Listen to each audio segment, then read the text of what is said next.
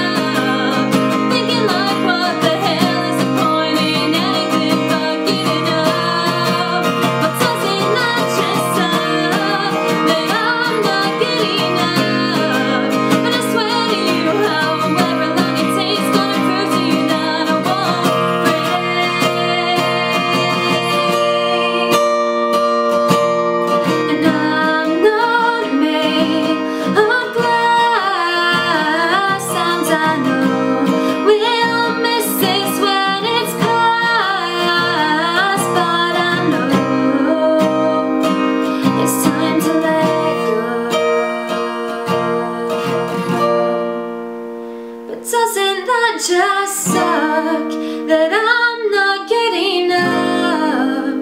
Thinking like what the hell is the point in anything but giving up? Doesn't that just suck? And I wish I was getting enough But since I'm